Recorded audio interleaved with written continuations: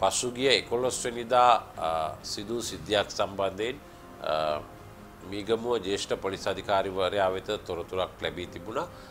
මේ තොරතුරේ සඳහන් වුණේ එක්තරා මීගමුව ප්‍රදේශයේ පදිංචි එක්තරා මවක් විසින් පුවත්පතක දැන්වීමක් පළ කර තිබෙනවා.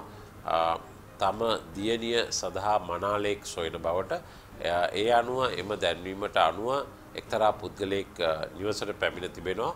එසේ පැමිණ ඉන් පසුව මෙම දියණිය සමග යම් කිසි මිතුරුකමක් ගොඩනගාගෙන ඇයත් සමග පිටතට ගොස් ඇයට සිසිල්බීම බෝතලයක් ලබාදී ඇයට සිහි විකල් වූ පසුව ඇයගේ ක්‍රඩිට් කාඩ් පතත් ඒවගේම ජංගම දුරකථනයක් රැගෙන ගොස් තිබෙනවා. ඉන් පසුව ක්‍රඩිට් කාඩ් පතින් රුපියල් ලක්ෂ දෙක පමණ මුදලක් ලබාගෙන මේ පුද්ගලයා පලාගොස් ඇති බවට වාර්තා වෙනවා.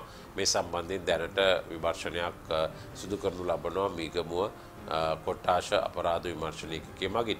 මෙහිදී ඉතාම පැහැදිලි වන කාරණයක් වන්නේ සමහර විට මංගල දැන්වීම් දැමීමේදී මේ ආකාරයට වංචනික පුද්ගලයින් පැමිණෙනට පුළුවන්.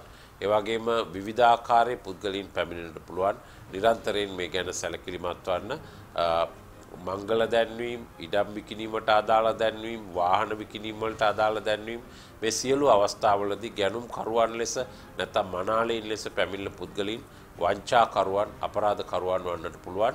වාහන ලබා ගැනීමේ මුවාවෙන් පැමිණෙන පුද්ගලයන් එම වාහනය පරීක්ෂා කිරීමට යයි පවසා පලායන අවස්ථා දක්නට ලැබුණා ඒ නිසා විශේෂයෙන්ම පුවත්පත්වල ඒ වගේම වෙබ් අඩවිවල දැන්වීම් පළ කර යම් යම් කටයුතු සිදු කිරීමේදී ඊටාම සැලකිල්ලෙන් කටයුතු කරන්න එසේ නැතහොත් අපරාධකරුවන්ගේ ගොදුරක ගොදුරක් බවට පත්වන්නට පුළුවන් අපරාධයක වින්දිතයෙක් බවට පත්වන්න පුළුවන් මීගමුව පොලිසිය මගින් මේ සම්බන්ධයෙන් තවදුරටත් පරීක්ෂණ පාත්වන ලබනවා.